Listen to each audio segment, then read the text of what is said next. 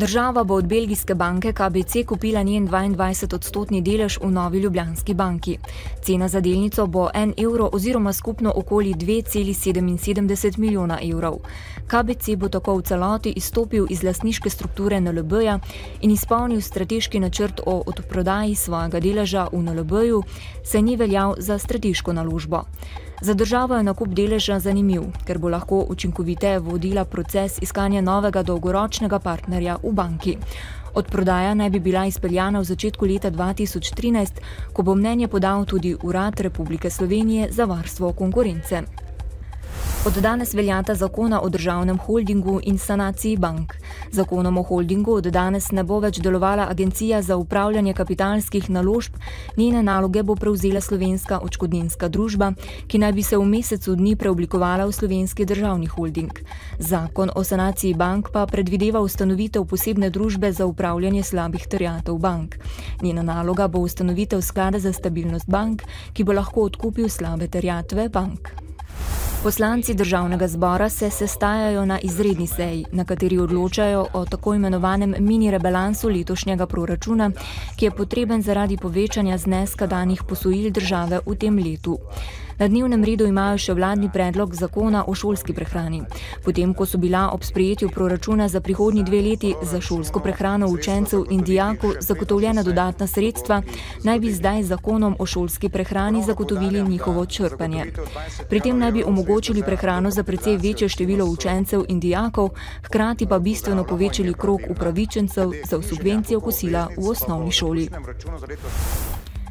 Državni zbor je na današnji izredni seji soglasno potrdil mandat novi poslanki socialnih demokratov Ljubici Jelušič.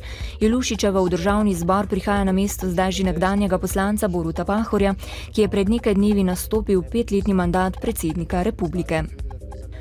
V Sloveniji so se cene življenjskih potrebščin decembra na letni ravni zvišale za 2,7 odstotka, na mesečni ravni pa je Slovenija imela deflacijo. Cene so se znižale za nič celih tri odstotka. Javnofinančni primankljaj je po treh četrtletjih letos ocenjen na 1,2 milijarde evrov ali 4,5 odstotka bruto domačega proizvoda. Primankljaj je bil v prvih treh četrtletjih letos bistveno nižji kot v enakem obdobju lani, ugotavlja statistični urad. Upokojenci bodo decembrske pokojnine na svoje račune dobili že danes, februarja pa sledi uskladitev pokojnin med pol in enim odstotkom. Sicer pa pokojninska reforma 1. januarja 2013 prinaša precej novosti.